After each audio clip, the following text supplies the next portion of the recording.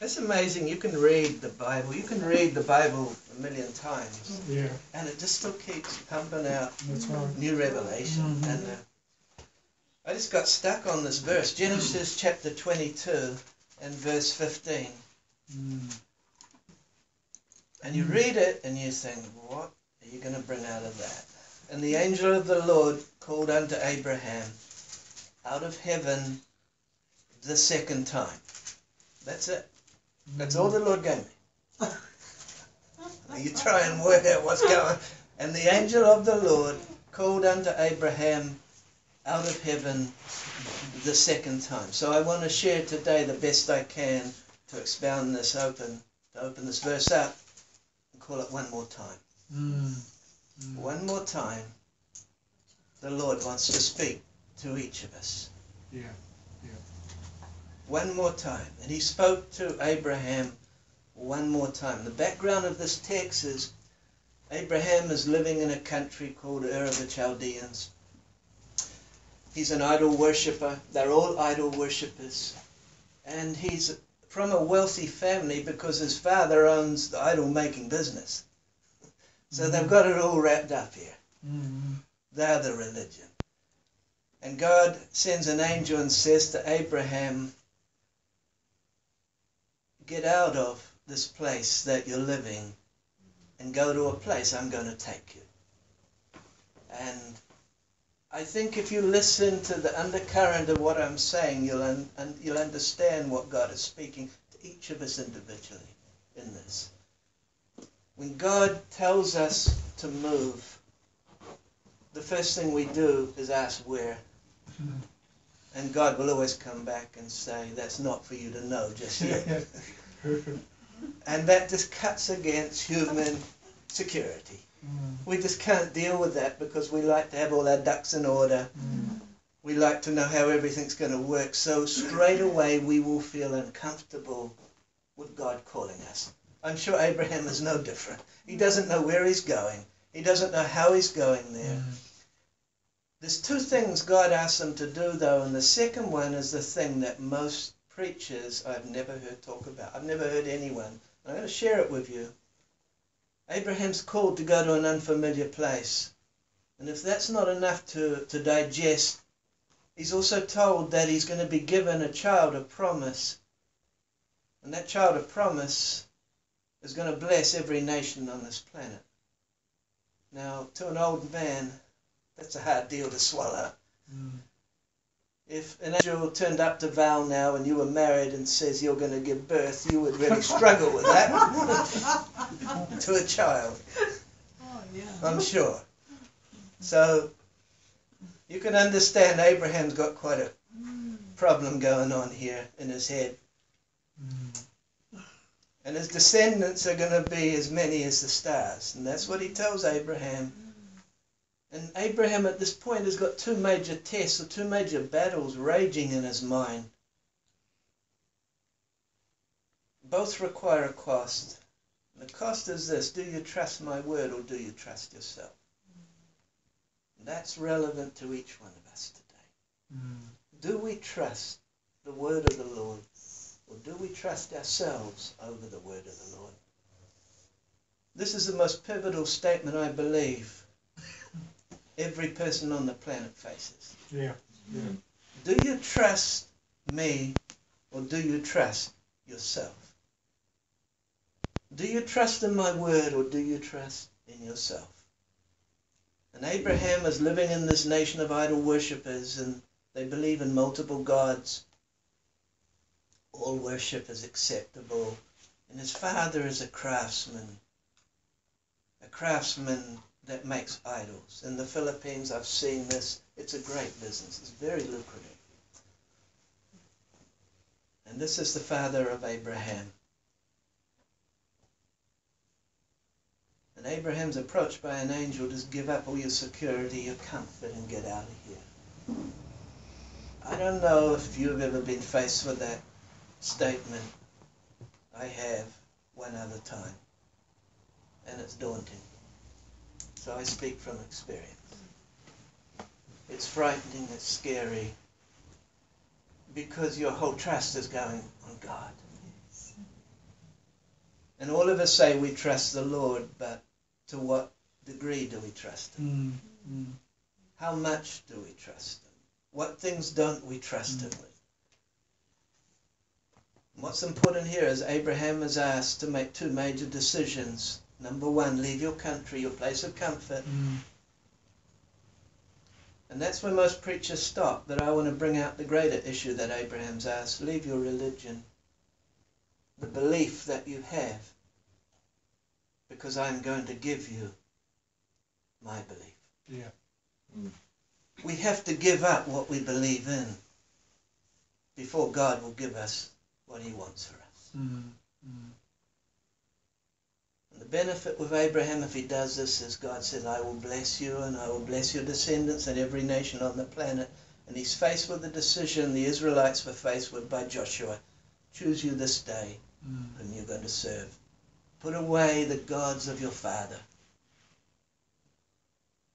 Put away the gods of your fathers that were served in Egypt. And what God is teaching Abraham and Joshua is the same.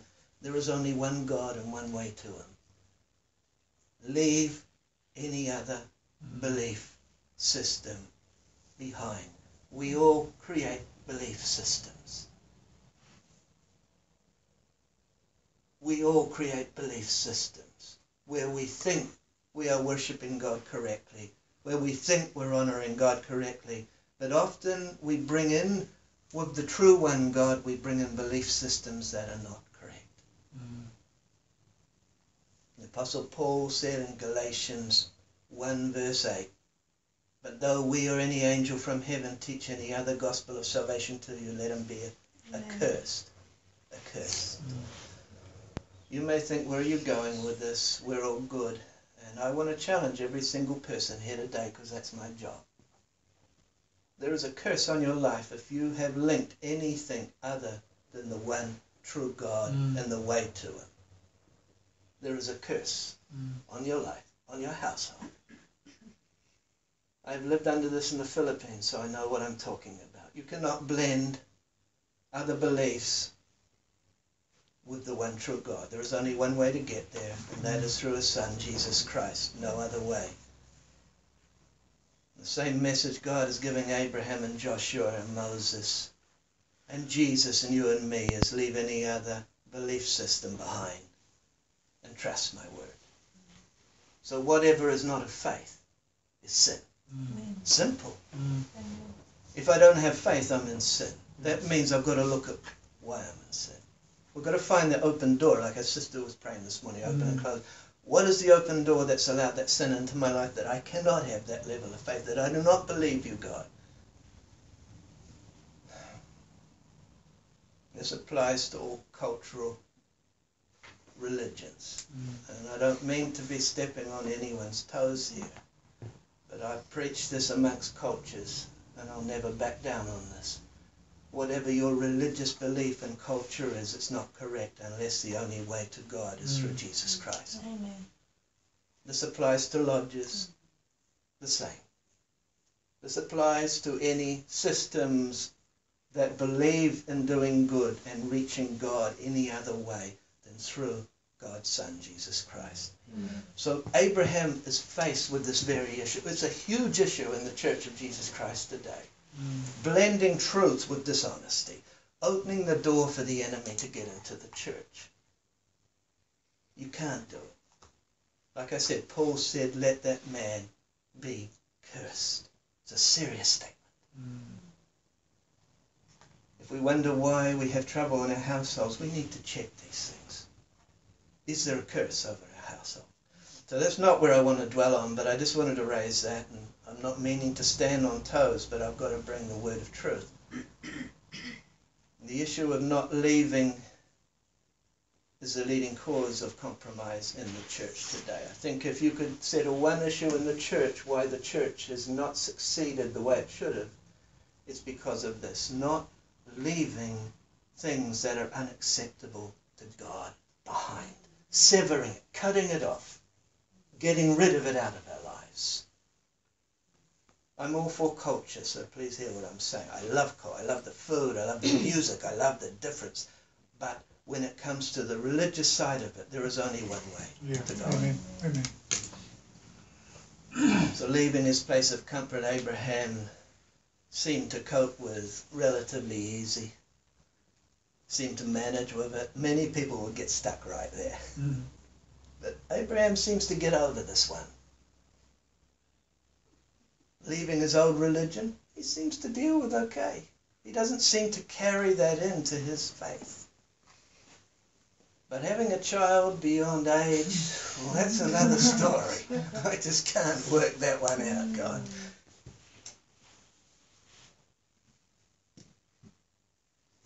You know, just think about it.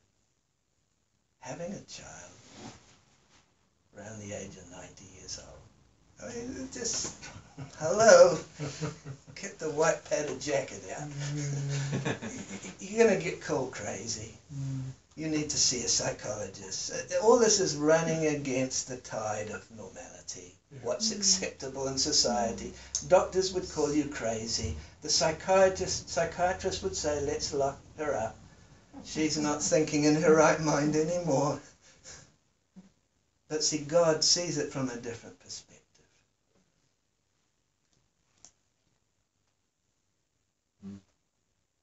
What do you mean you've got to give up your home and your family, your business, to go somewhere? And you want me to go somewhere I don't even know where I'm going? That doesn't sort of make a lot of sense. Mm. Mm. Think about it. God said to you today, pack your bags, get out of where you are. You just go, huh? Get thee behind me, Satan. It doesn't make sense. I didn't write this. God did, okay? So don't get angry with me and don't feel upset with what I'm saying. This is what God said. And it's a lonely place to go when your family and your friends think you're a wacko and you've missed the boat. Been there, done Hello. Okay, so I've got a couple on my side. Praise the Lord. You know, when they just don't see eye to eye with you, and uh, what it does to Abraham, because we say he's the father of faith, and rah rah, and he's this great mighty man of faith, but actually Abraham weakens at this point Mm. because he can't cope with this pressure on him. And so Abraham decides, well, yeah, I know that, that God told me I'm going to have a child, but uh, I better make it happen and do it my way. I'm sure that's where the song come from. I did it my way. And Abraham does what Adam did in the Garden of Eden, and he listens to his wife, who tells him, hey, your maid's not a bad looker, she'll be the one. God's got his hand on the maid, not on me. You got it wrong, Abraham. And Abraham doubts for a brief moment. Mm. And he takes his maid, and we know the story. Mm. And the problem with it is this God forgives sin, so that's not the deal. The repercussions of the sin Yeah. go on for eternity. And we look around today and we see the repercussions of this very problem. Thank God he blessed Ishmael. Mm. Mm. Thank God he did. And Abraham would have felt the weight, I know, of his family, because I speak from experience, working against him. Yet he knew God had told him to do something. And it's a lonely place. I tell you from experience, it's a lonely Mm. place Yeah. to be in. And Abraham tried obeying God in his own strength. And how often do we do that? There's some nuggets here. God gave me these this morning. How often we try and obey Him in our strength. We do it our way, Mm. but not God's way. My sheep hear my voice. The voice of a stranger they don't hear. How many want to please God with good intentions? I do. I don't know about you. I do. We have such good intentions. We want to please Him because we love Him Mm. and we want His love back.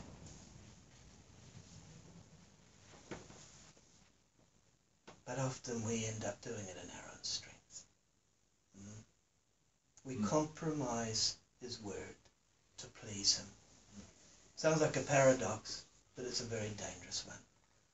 We compromise His word to please Him, and it doesn't please Him.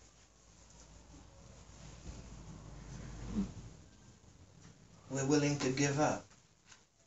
There's nothing in my life I won't give up. Nothing. I've passed that test already. I've been down that road. Once you pass the test, it's easy. But I have compromised my faith to please God before. You know what I'm talking about. Mm. And now Abraham's insecurity, his lack of faith and trust in God's word creates a situation. It's got ongoing repercussions until now and into eternity. And obedience always brings a blessing, but disobedience always brings a curse. When we feel like we're paddling upstream, when we feel like we're not making ground, we need to look and say, is there a curse life? Mm. And finally, Abraham produces this child promise, and then God, for the third time, asks something that raises the bar yet again. Sometimes we think, oh, well, you know, I've got to give up stuff, and all right, I'll pass the test, and we think, oh, I've made it. And then God just raises the bar to a new level. Yeah. oh, I thought I made it. No, you're only on number two rung of the ladder. God raises the bar for the third time with Abraham. Chapter 22 of verse 1 of Genesis sums it up, and it's this. This sums up what's happening in Abraham's life.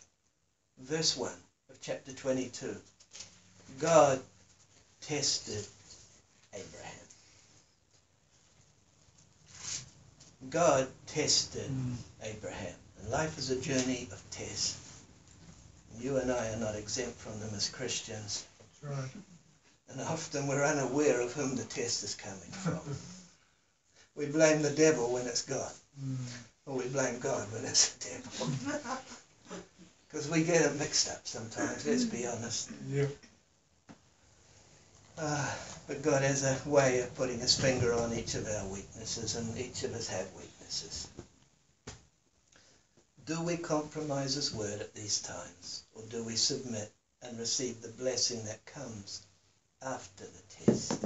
Because the blessing always comes after the test. Yeah. We have to encounter the test and overcome it. Whatever this is in your life, be it money, sickness, whatever, we have to encounter the test before the blessing comes. We have to overcome the test before we receive blessing.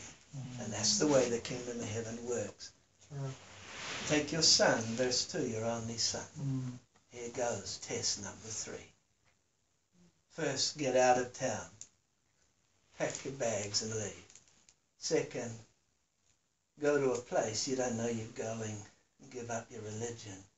Number three, give up the son of promise that I promised you. That was a miracle. It just gets a little harder each mm. time.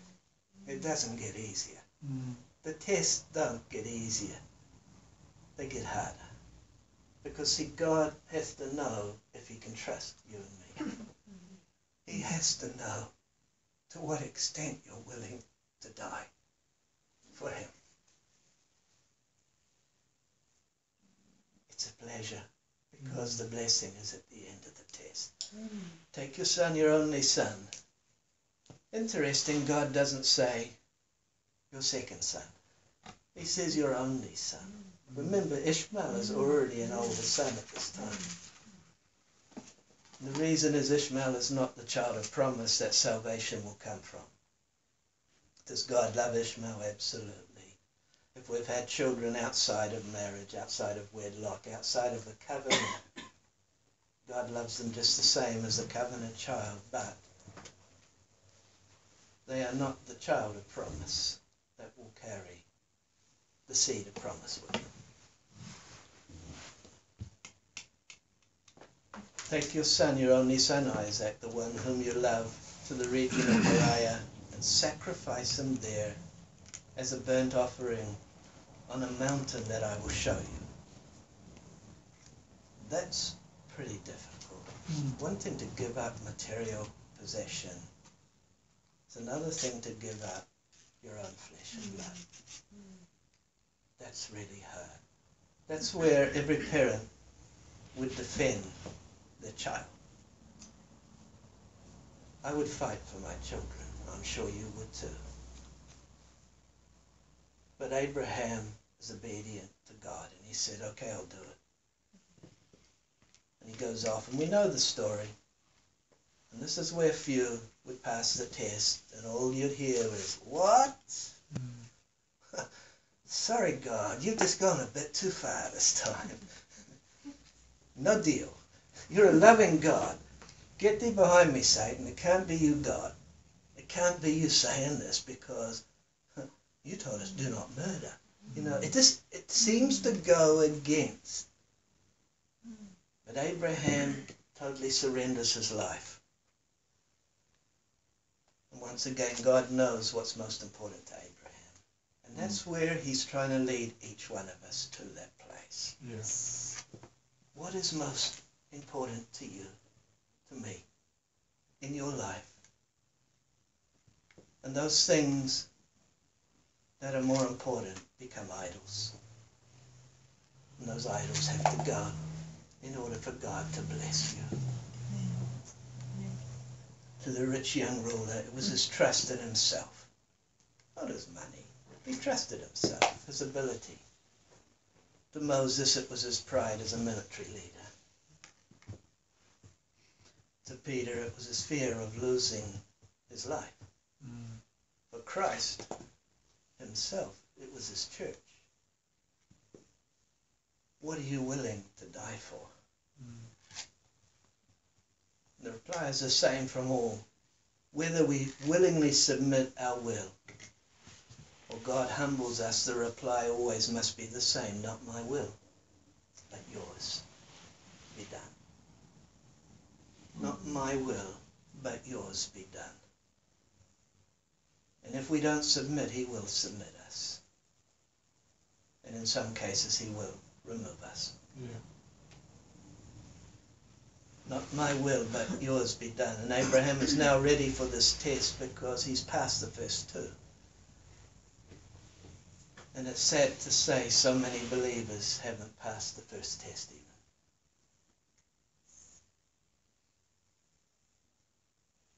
Leave your comfort zone. Lay it on the altar. And I'll bless you greatly, Abraham. Trust me for supernatural provision, Abraham. I will bring it. And Abraham, by this time, knows God sufficiently that he can trust his word. That's all he needs to hear is his word. Or read his word. It's the same, whether it's the Logos or the Rhema. We either believe it or we don't. And Abraham, by this time, does.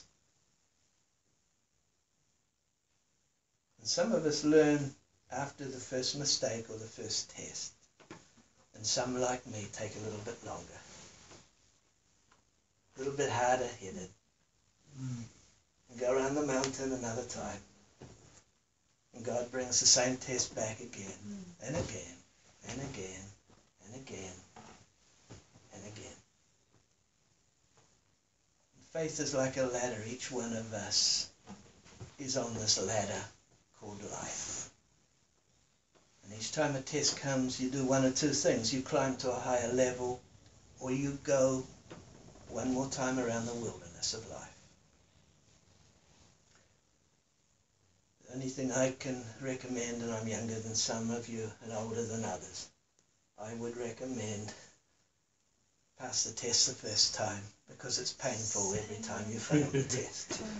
There's too much pain associated to failing the test. It's a lot easier to trust God and say, I don't know how you're going to work this out, but okay, I'll do it. And notice the levels of tests given to Abraham. Each test requires more faith, Mm. a higher level of faith, a higher degree of faith. And Abraham, to start with, is tested in a possible situation. Brother, I want you to give those glasses up. Mm. But then by the third test, it becomes a supernatural test. And you can't rationalize the supernatural test, but you can rationalize giving your glasses away. Mm. You see what I mean? It becomes more difficult. Mm.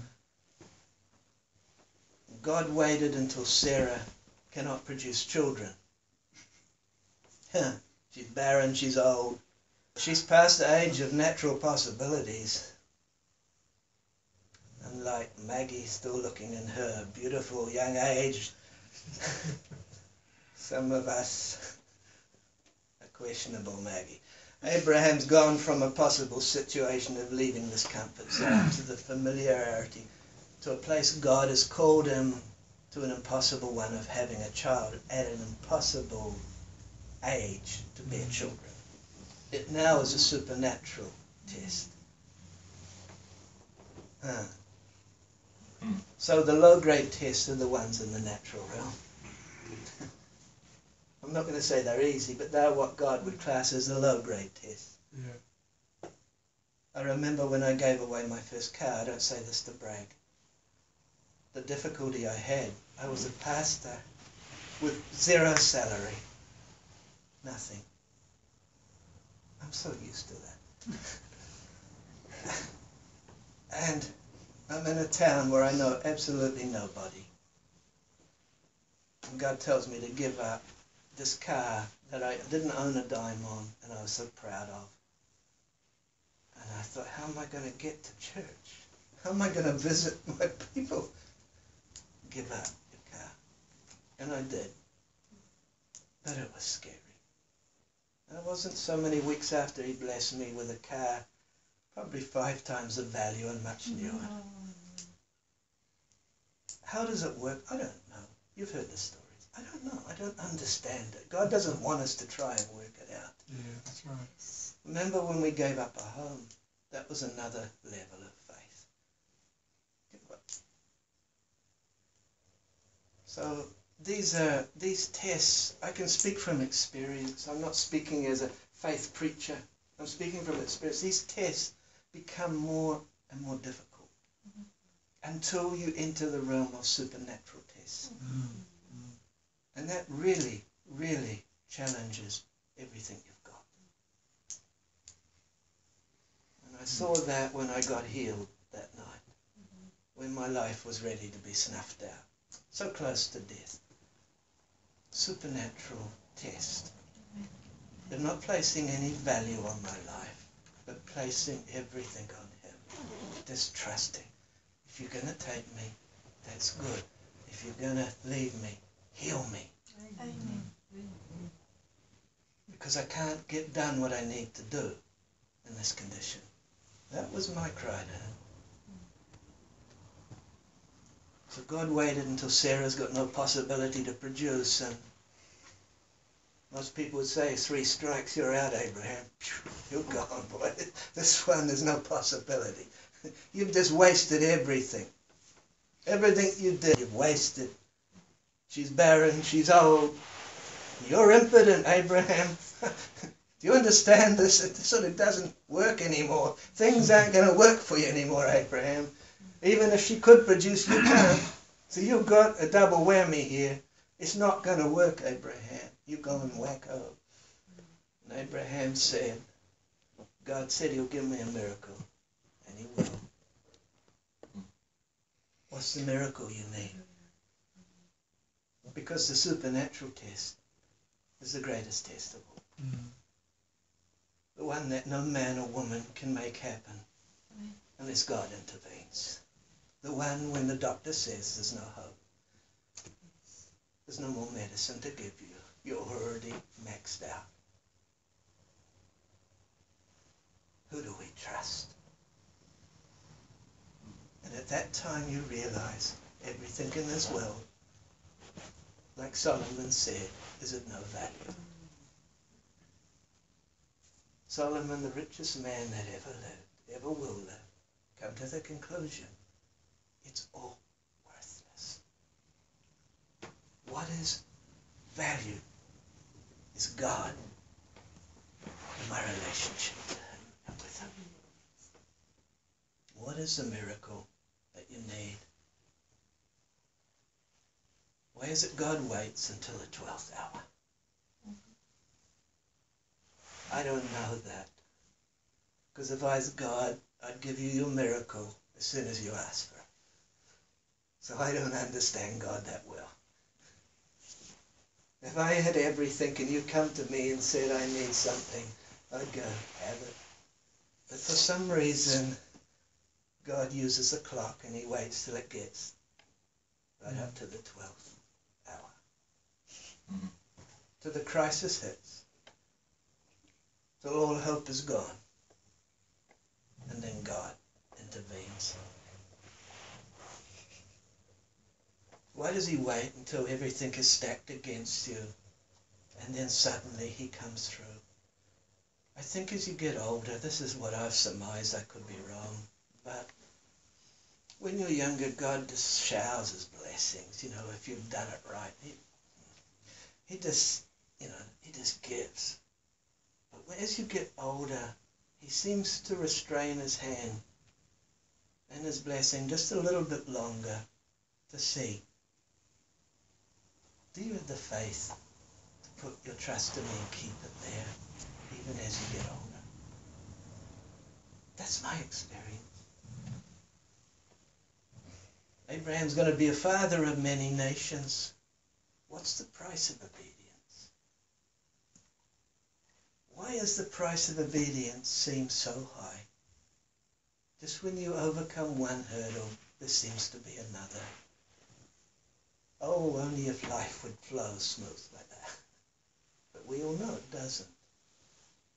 God has designed it that way intentionally. Abraham was a friend of God. He is our descendant of faith, which makes him our example.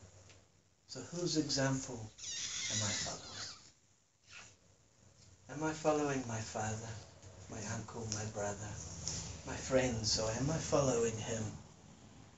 And Abraham is a friend of God. But what made him a friend is this. He believed God. Mm. That's what made him a friend.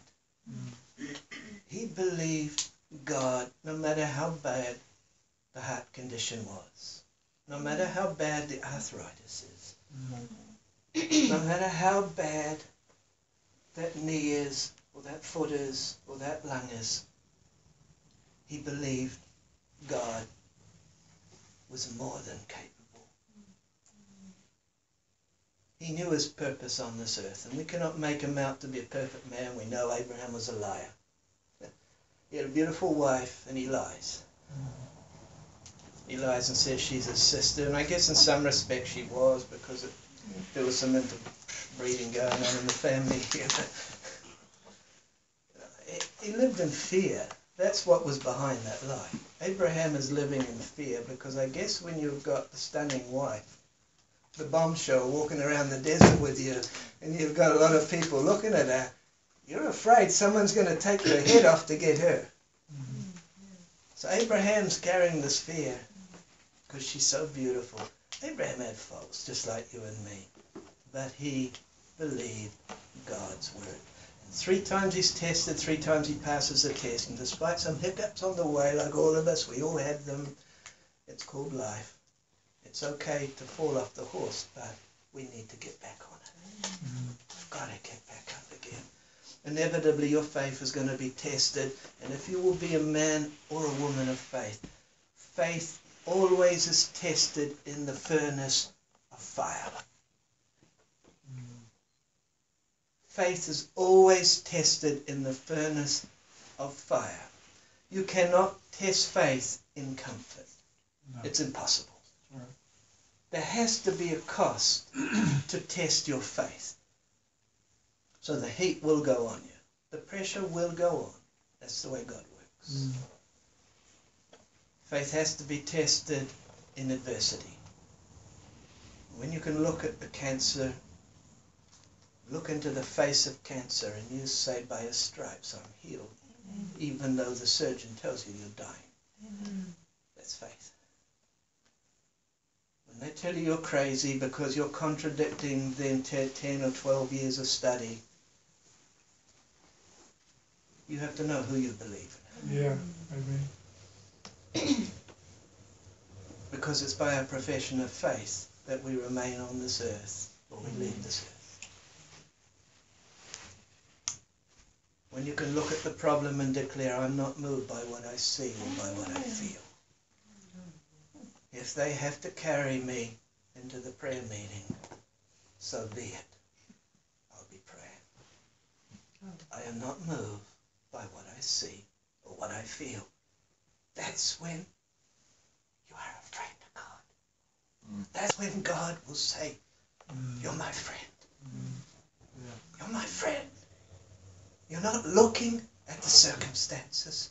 You're looking to me. You're my friend.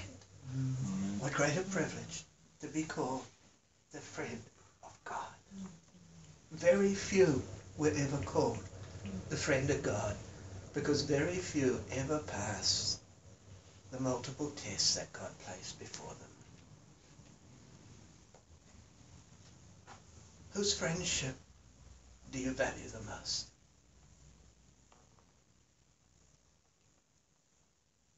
Whose friendship do you value the most? This applies to us whether we're a child or whether we're nearly 90. Whose friendship is most important to you? That's the true test. Mm. And Abraham believed God and it was credited to him as righteousness. The one ability Abraham had was he knew how God, how to hear his voice and I have to challenge myself every day. Whose voice am I hearing? Because the Bible says, My sheep mm. hear my voice, and the mm. voice of a stranger they do not hear. And of course, we are his sheep. And every day, you and I get bombarded with voices from everywhere. They may be from good people, they may be from bad people, mm. but they're voices. What do we do with those voices? Are we listening to those or are we listening to him, the shepherd? The voice of a stranger his sheep do not hear, a stranger to the Most High and a stranger to his covenant. Be careful whose voice you're listening to. Are they a stranger to the covenant? Do not take counsel from anyone who's not living the covenant because the enemy will use that person no matter how good they are. And I've got a lot of good unsaved friends, good in the sense, lovely people. When you take counsel or wisdom from them, you will potentially have the door open for deception. Only take counsel from the Most High. Not from any man, not even a pastor. God's word only. The one voice God listens to is the voice of faith. Faith. Faith is what pleases Him. God save me. God heal me. Mm. God, I believe what your word says. Mm. That's the voice of faith. Yeah. Without faith, we can't please Him. Abraham, where are you going? Abraham, come back here, you idiot. What are you doing? Why, why you, you leave? What do you mean you're leaving? Where are you going? I don't know. I'm not sure. But I'm looking for a place. It's a city. It's a city that's built by God. It's a city where He will provide all my needs. It's a city where He will give me houses that I don't work for and businesses I haven't worked for.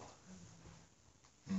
It's a different city, but I don't know where it is because I haven't found it yet. And Abraham heads off on this journey, and all he can say is, I've never been this way before, and I don't know where I'm going. You ever feel like that? I sure do. I don't know where I'm going, Lord. I'll go wherever you send me, but. Hmm. And then he says, Go, and you say, What? Devil, get thee behind me. I don't want to listen. Where are you going? I'm looking for a city built by God, whose maker is God. And Abraham went off in search of that city. When is the right time for God's intervention? It seems to be he leaves it to the last minute. Mm. I don't know why. But always when your adversity is against you, God will intervene. When we brought the orphanage many years ago, I like to share from real testimonies because you can argue against the Word of God and say it's history, but these are real testimonies. And we had no money. I mean, none. Zero. And we had a message. We were in New Zealand at the time. We had a message from a relative of Amy that said, Oh, I found some land for you. It's XYZ amount. And it's there. I don't even know where there was. They, she told me I didn't even know where it was. Gets up the phone, tells me, and, I, and something inside me says, Got to buy it. I just knew God wanted that to do something. I didn't at the time know it was an orphanage, that's the truth. I didn't know. We brought the land with zero money. We paid it off, I think in less than a year. God just provided miraculously. And then after that land was freehold, I hear the voice of the Lord again come from a little girl knocking on our gate outside the house we're renting crying out for help that she had been abused and hurt. And to be honest, I'd had enough issues in my own life with children. I didn't need someone else's problems. I'm sure you can relate to this. But I was broken by what this little girl was saying at our gate. Mammy let her in and Uh, her arm around her and talked to her. And at that time, God said to me so clearly, you're to build a building for children just like this. I had no desire to hit up an orphanage, none at all. That's just the way God works. Sometimes he puts us in things we don't desire to do. I have every reason to not want to do it in the natural. Mm, God told me to do it, and I did it. And we had no money yet again, so what we did, when I say no money, I think at the time we had a few dollars in our bank account. When I mean a few, ten dollars or something. So we went and priced one bag of cement, and we brought one bag of cement and took it to the site as a step of faith. And today, those buildings and properties worth millions of dollars. It's, we don't owe any debt. And that's how it started. And that's how God works. God is looking for faith. We have to see in our eye of faith, and in our mind, we have to see what is he saying to me, me personally. Each one of us he'll speak to individually. What is he saying to me? Where do I fit into this puzzle? Each one of us have, has a different part to play on the chessboard. Mm. Each one of us are different. We look different. We're, we're different in age. But God has a place for each one of us. This is not about one person. Life is about all of us working together to fulfill the puzzle God's given us. Yeah.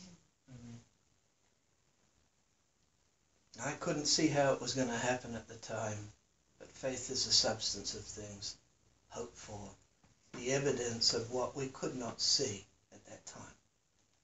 I just had a, an idea in my mind, well, there's so many needy children here, and there's nothing for them. Jesus said, be it done unto you according to your faith. I have more trust in him than I do in any of you. I've got to say that, and I don't mean to criticize anyone. I love you all dearly. But my trust is in him, not in man. This week we saw the hand of God yet again providing. I think I told you about that. Imagine, this is nothing to do with us. We're helping cement classroom floors. We're an orphanage, but we're actually helping the schools now.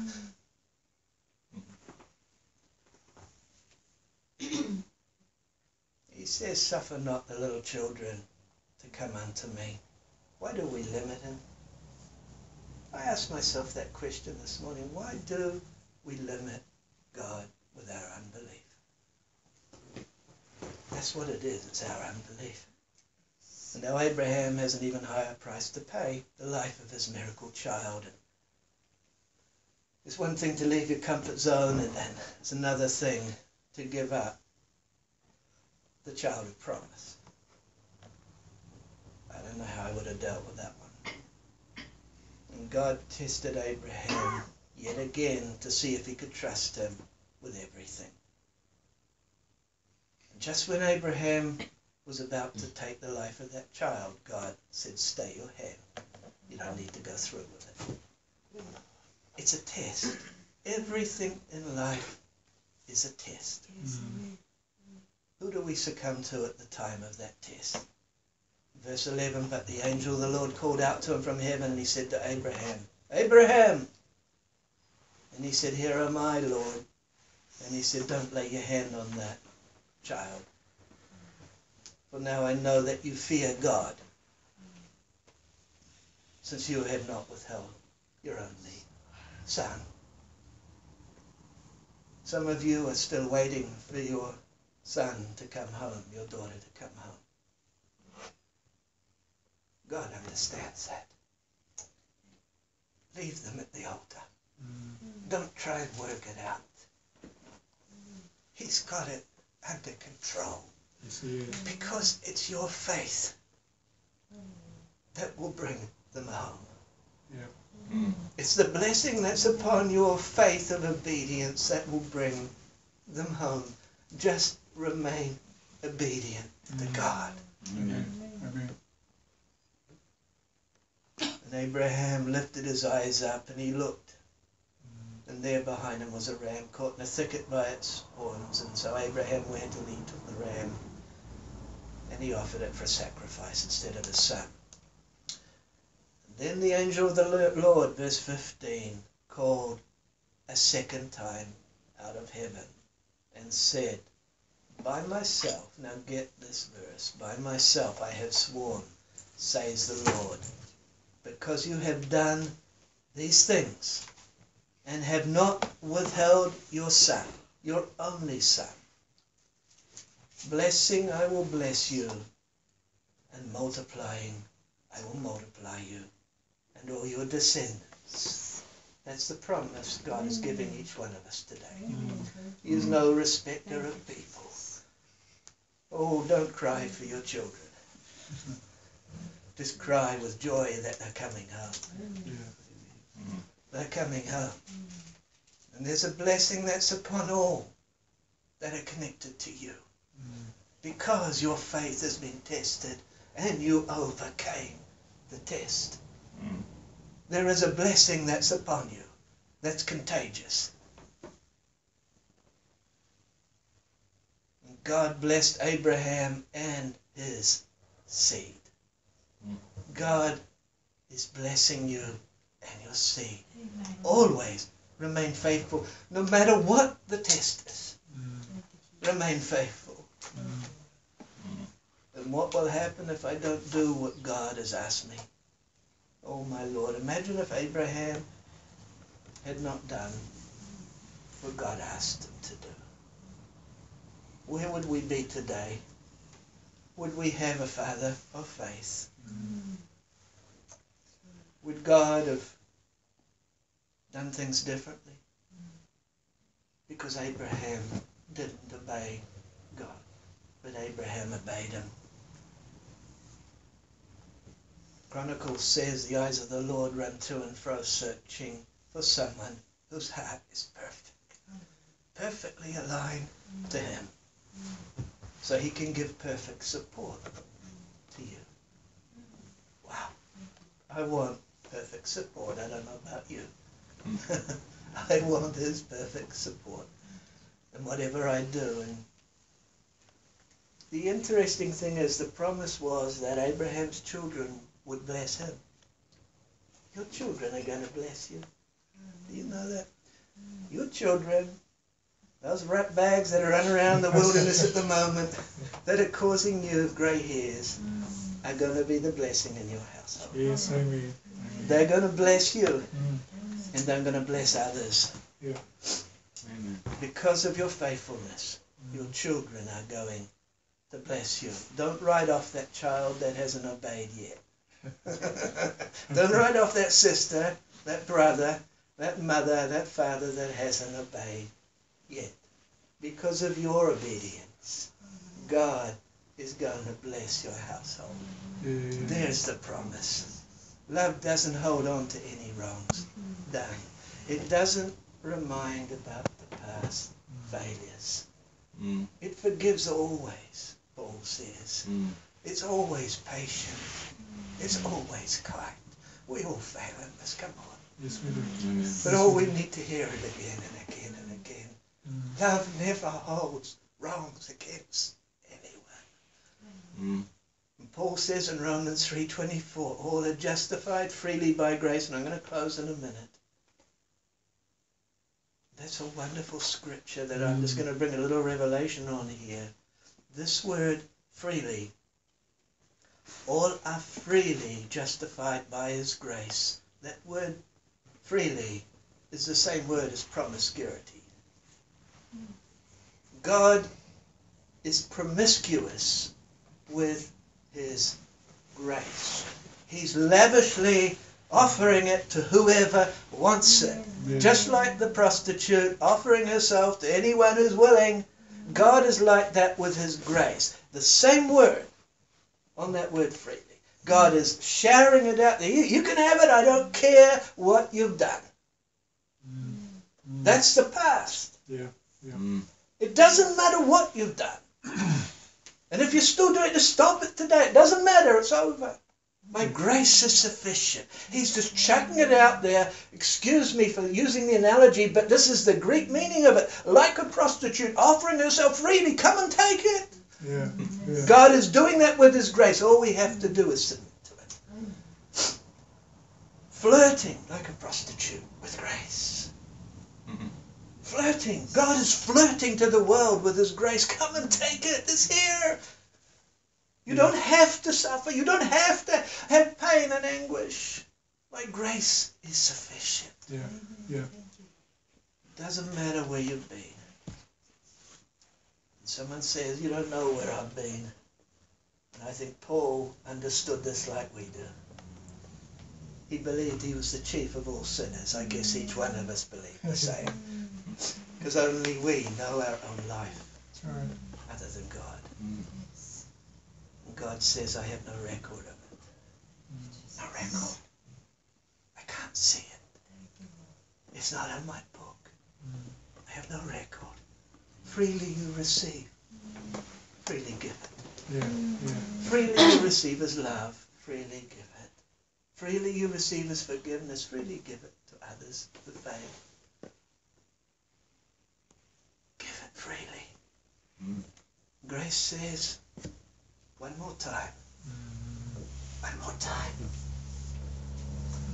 One more time. I'm here for you.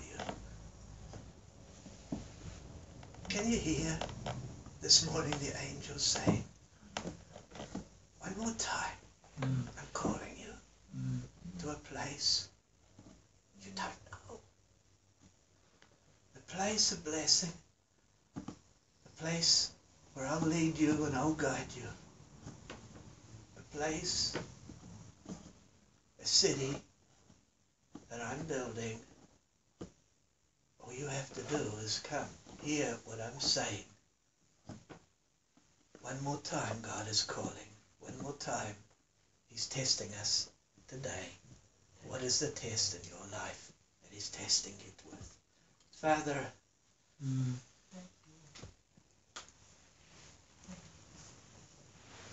I know this word is from you. Mm. You give me one scripture that even I didn't understand.